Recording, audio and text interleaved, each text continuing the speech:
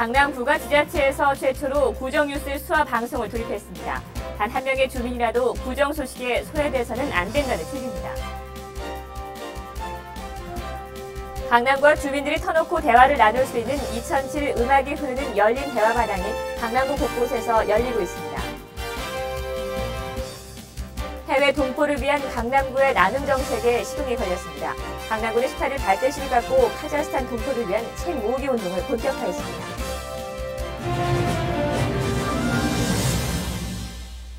여러분 안녕하십니까 강남구청 뉴스입니다.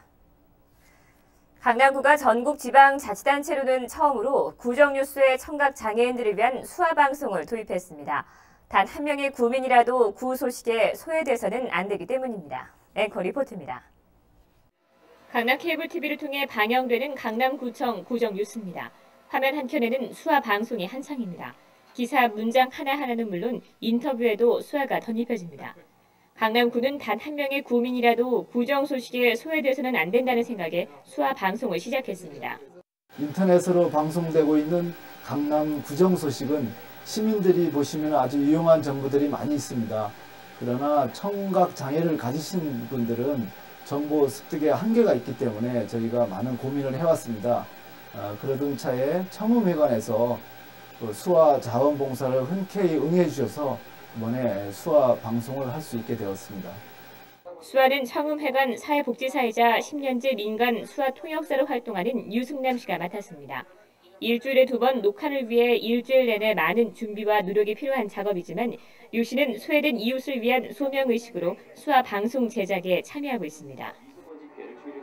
이런 활동을 통해서 우리 강남구에 사시는 그 많은 청각장애인 분들이 어, 좀 더 강남구의 어떤 그런 구정 활동을 잘 아셔서 어, 떤 선의의 피해를 입는다던가 어, 생활에 어려움을 겪지 않을 수 있도록 그런 정보 전달의 역할을 했으면 좋겠고요. 앞으로 제가 좀 부족하지만 어, 많은 그 성원과 격려 바라고요. 저도 열심히 노력하도록 하겠습니다. 구정 뉴스를 전하는 주요 매체는 강남 케이블 TV와 인터넷.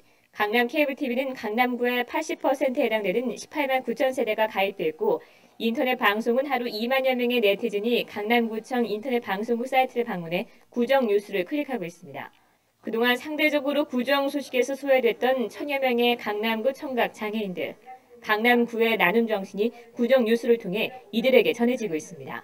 강남구청 뉴스 구미입니다. 강남구가 주민들을 위해 마련한 대화회장 2007 음악이 흐르는 열린 대화마당이 강남구 곳곳에서 열리고 있습니다. 16일 노년 2동 문화센터에서 열린 대화마당에서 노년 1, 2동과 청담 1, 2동 주민들은 강남구 공영 주차장 운영 개선 방안 등에 대해 건의했습니다. 주민들은 노년 2동과 청담 1동에 각각 운영되고 있는 공영 주차장 건물에 음식점 등 근린 생활 시설이 들어서 있어 인근 주민들이 실질적으로 주차장을 이용하는 데 어려움이 있다며 근린 생활 시설 범위 제한 등을 건의했습니다.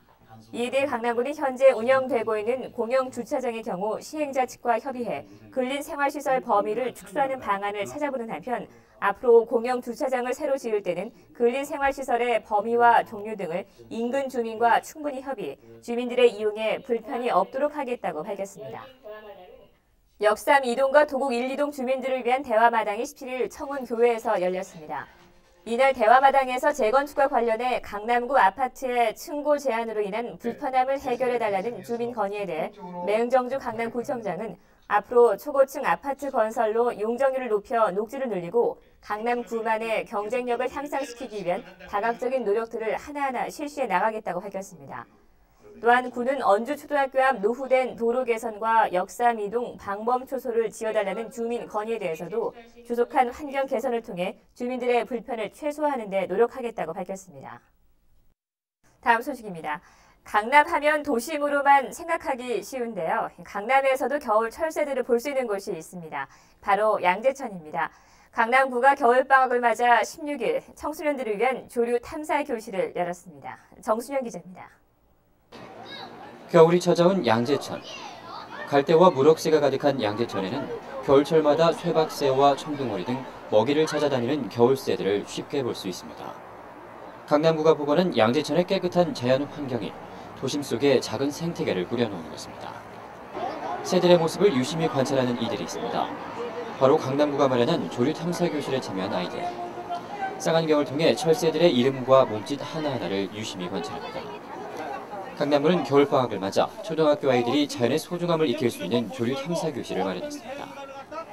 아, 양재천이 전에는 뭐 식생들 이런 것도 보이지 않고 했지만 이제 한 15년 전에 이렇게 개발을 하고 복원을 하면서 많은 전 초본류들이 차지를 차지하고 그 초본류들의 열매들이 좀 많이 좀 존재를 하면서 아, 이렇게 철새들도 이제 먹이가 풍부해지면서 이렇게 양재천을 찾아오게 돼서 아마 예, 어쨌든 시민과 간이 같이 이렇게 양재천을 복원하는데 그, 그 힘이 크다고 생각합니다.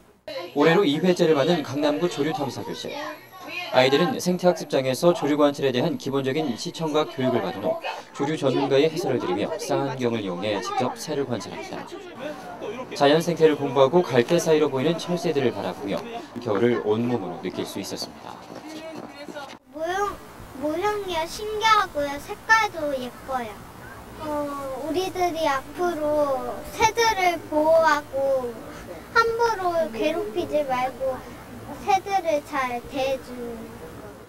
평소에 못 봤던 새들이니까 신기하고 이뻐요.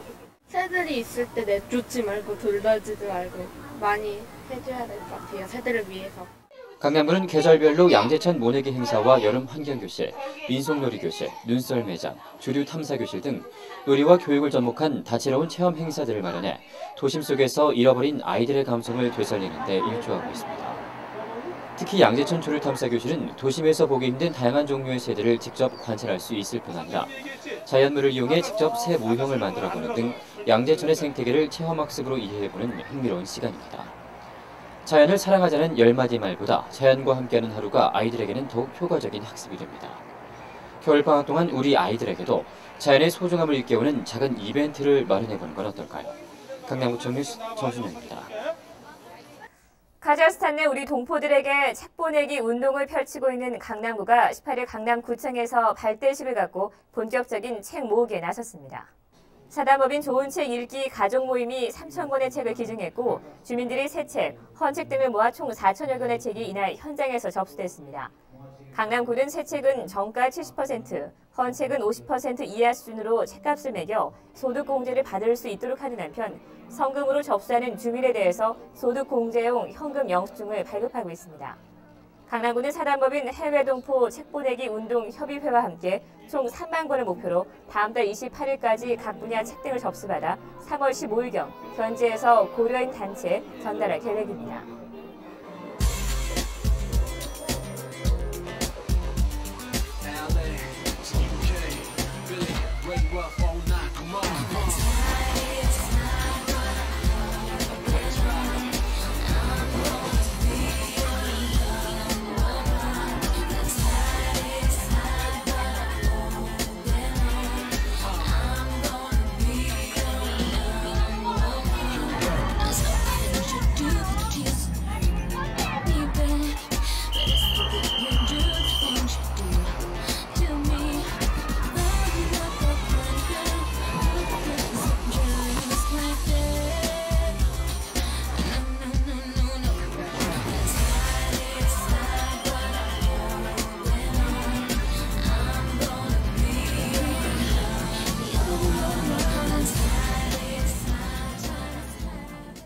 이상으로 뉴스를 마치겠습니다. 시청해주신 여러분 고맙습니다.